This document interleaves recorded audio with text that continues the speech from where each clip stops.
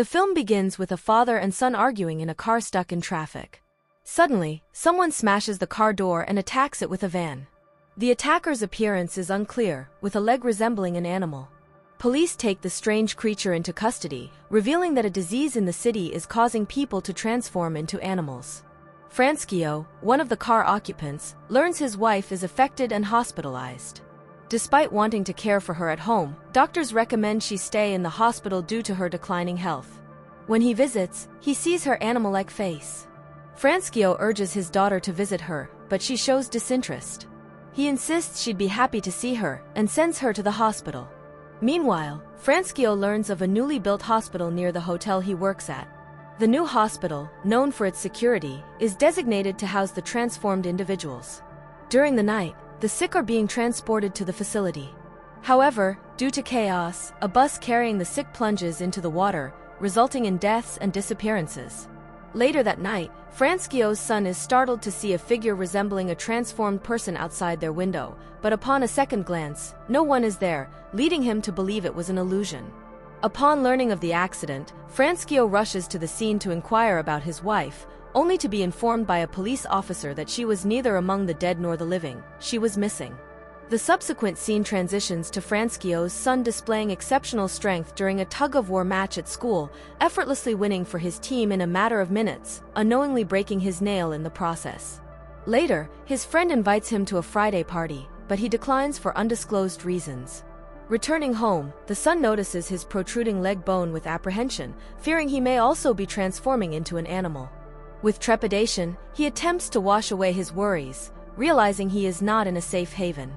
Meanwhile, Franschio encounters the same police officer at the supermall, who informs him that his wife is still missing and is not listed among the deceased, reassuring him that the living are being well cared for. Amidst their conversation, a loud commotion erupts in the mall, prompting everyone to rush towards the disturbance. A man claims to have seen a peculiar individual, causing a stir. Franschio pushes through the crowd, hoping to find his wife but instead encounters an octopus-like man attempting to flee upon noticing the police officer. The man throws various objects at the officer, who adeptly apprehends him. Amidst the chaos, Franschio also catches sight of a young girl transformed into a bird. As they exit the mall, the officer questions Franschio about the items he purchased, to which he replies that they are for a cafe visit, concealing his true motive of locating his missing wife. Believing his wife to be lost in the jungle following the accident, Franschio strategically hangs clothing in the forest, as her sense of smell has heightened. Despite government regulations prohibiting the care of afflicted individuals at home, Franschio is determined to look after his wife personally, necessitating the items he acquired. Upon returning home, Franschio informs his son that multiple animal-like beings were spotted at the mall that day, and many individuals have gone missing since the accident. He expresses his concern that their mother may also be among the lost, but reassures his son not to fret, promising that they will venture into the jungle on Friday to search for her. However, Franschio's son had plans to attend a party that Friday, as a girl had invited him. Despite Franschio's reluctance, he allows his son to go, with a reminder to return home before 8 o'clock. The party was lively, but suddenly Franschio's son feels unwell and a girl gives him a tablet. Instead of ingesting it, he licks it like a dog. After this unusual incident, he heads fearlessly into the jungle. Upon waking the next morning, he finds himself in the forest, feeling something stuck in his throat. He hurries home, noticing changes in his lips and complexion. When his father visits him in the bathroom, the son hastily closes the door and retrieves something from his throat, a vomit. Realizing he is also undergoing the transformation into an animal, he accompanies his father and dog to search for his missing mother in the jungle. The son calls out to his mother loudly, but upon finding no one, they grow weary and rest. In the wee hours, the dog begins barking loudly, leading them to discover a person resembling a monkey in a tree. As they investigate, an individual in the shape of an eagle attacks Franschio's daughter. Recognizing that Fransk eagle-shaped person is not a threat to those turning into animals, he still injures Franschio's son.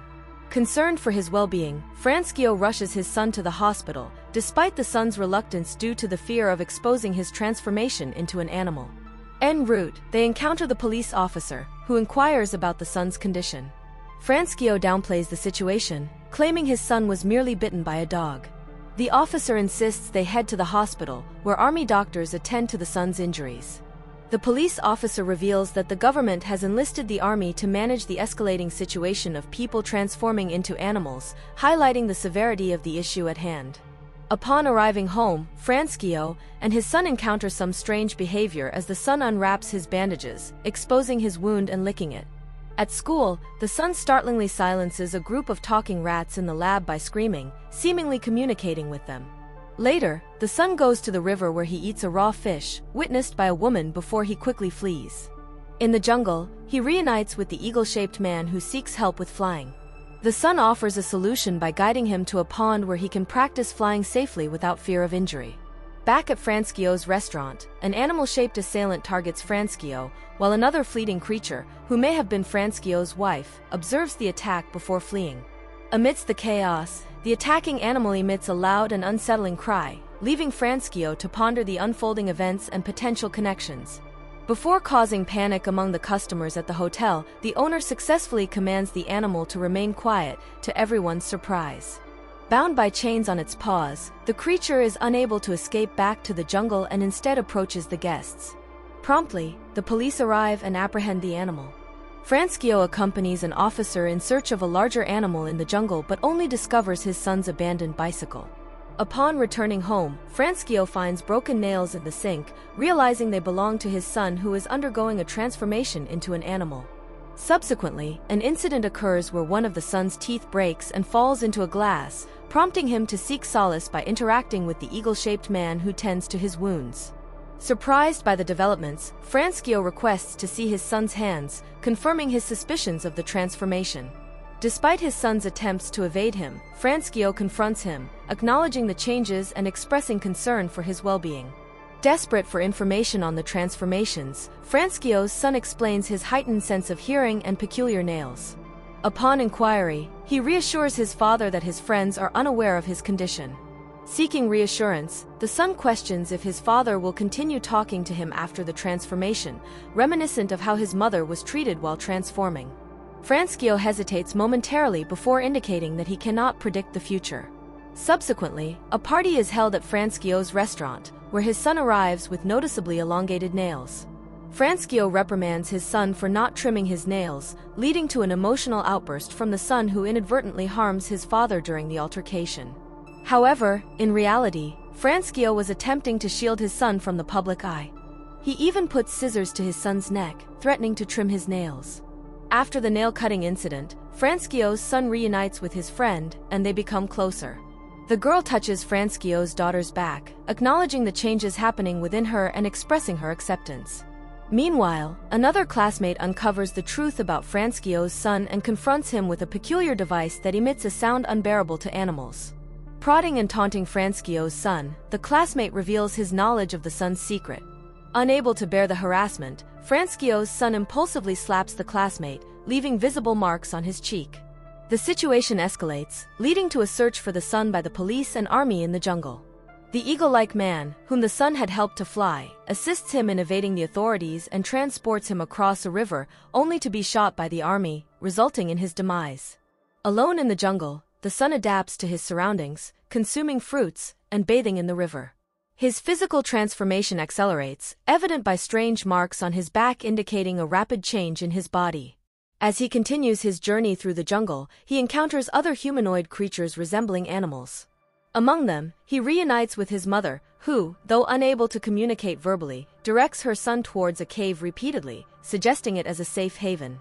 Noticing various individuals transformed into snakes, monkeys, and a fallen child, Franschio's son navigates through this surreal environment, each encounter underscoring the profound and irreversible alterations happening to both himself and others in this dystopian landscape. Peace reigned in the area until the military disrupted the tranquility by firing smoke, sparking chaos employing a specialized device emitting distressing sounds that aggravated both animals and Franschio's daughter, who was also seized by the military. However, the girl, transformed into a cricket, manages to evade capture by concealing herself in a tree. Meanwhile, the police have Franschio's son in the city, and upon encountering the authorities, Franschio identifies his son as the one who ventured into the jungle at night. Although his son still retains a human appearance, his inability to sign a paper leads to a symbolic display of anger, hinting at his ongoing transformation. Suspecting the transformation, the police move to apprehend him, prompting Franchio to intervene by ultimately signing the document presented and whisking his son away. Recognizing the looming danger, the officer, who aided Franchio throughout the movie, becomes wary of the unfolding events, leading to military pursuit. Alarmed, Frankio's son queries his father about potential imprisonment in a health facility, to which Frankio reassures him of their unity. The son reveals seeing a group of animals in the jungle, bringing Franchio solace. Swiftly reaching a decision, Frankio stops the car amidst the jungle and advises his son to go, granting him the freedom to roam the jungle. Instantly, Frankio's son dashes away from the scene. Tears of relief fill Frankio's eyes as he watches his son escape, avoiding government scrutiny. With this emotional resolution, the film concludes, marking the end of the story.